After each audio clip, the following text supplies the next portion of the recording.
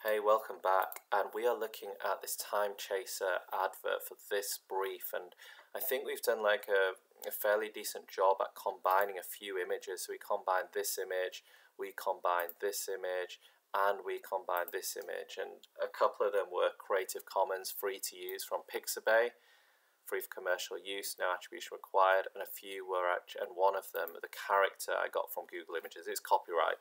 Um, but I'm, I'm not too concerned about that right now, um, as it's just a project learning how to use Photoshop. Uh, you've got other characters here. If you're looking at other characters, transparent, and you can see them. Uh, variants down there as well, similar variants. So I'm going to talk about using text today.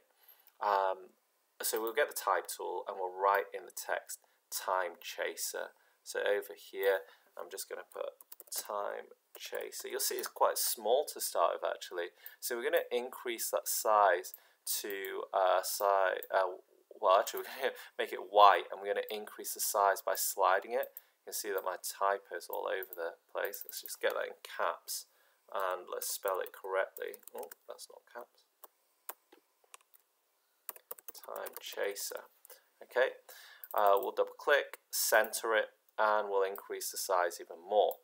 Now let's pick a convincing font because we know that with typography, typography tells a lot about um, what the project is about. So we can pick a font. I'm going to pick something that's quite uh, futuristic and heavy. Commando is okay, I suppose. Let's have a look at that. Commando works. I think I'm just going to make it a bit bigger. So it's like this. There we go. So we've got Time Chaser there. And then what I want to do is I might just add, once again, a glow to that. I don't know if I can do an effect here. So once again, I'm somewhat freestyling this. So let's go to effects down here.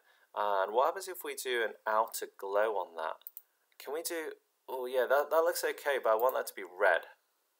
Would that work? Red. Nice. In fact, I don't know about that. It's a bit too much, isn't it? Like when you go red on on that, there's too many colours going on. Well, actually, the red for this might work. It's okay. Um, other ideas which you might have. So we can untick that. I'll show you a few things. You can have a drop shadow instead. Can you see that drop shadow? It's quite subtle. But I want the shadow to go the opposite direction. So in terms of direction, uh, can I change the direction? Because it's going bottom left at the moment. Can we change that direction? How do we do that? Um, oh yeah. Is that what's happened? Oh no, that's like something to do with the contour. To the size. So that's increased or is that actually doing anything? Oh, we're still on outer glow, aren't we? Sorry, my bad. I was wondering like why that slider wasn't working. So here, opacity, if we slide that down, we see less of it. If we go more to the right, we see a harder drop shadow. The angle, I want it to go bottom right. You see that's changing the angle? Uh, here yeah, so that's like a, a neat drop shadow, or we can just keep it where it was. Distance, so that's like how far away it goes from the drop.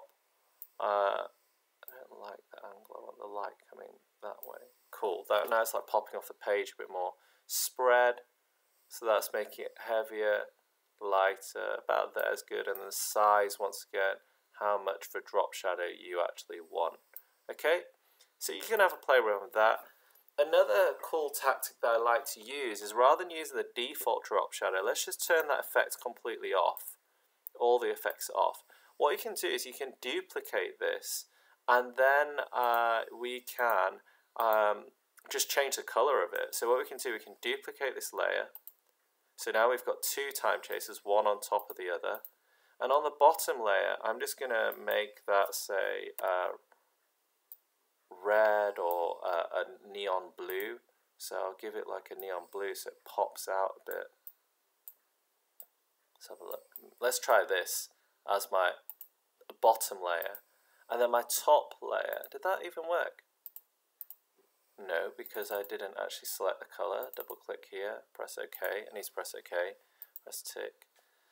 Hmm, why did that not? Oh, I need to change the color up here. That's the fill color. Text color's up here.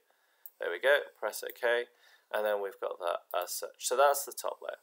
Then over here, I've turned my white back on, and then if I use my move tool, I can move that slightly. So I'll move this layer slightly to the right. Can you see that blue coming through and slightly down? So that's another way to get like a lovely drop shadow. So that's the tutorial on text, like how to add text. And on the next one, I'll just talk more about like the conventions, like adding in things like the PEGI logo, the copyright text, and a few other things there.